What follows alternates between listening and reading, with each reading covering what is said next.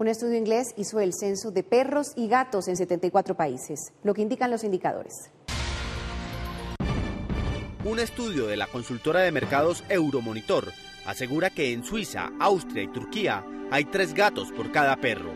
En la India hay 10 perros por cada gato y que en Colombia hay 4.3 millones de perros sobre 1.4 millones de gatos. Pero sigue creciendo su población en ciudades. Esto indica que los hindúes y los colombianos tienen más tiempo para cuidar a sus mascotas. Esto es lo que indican los indicadores.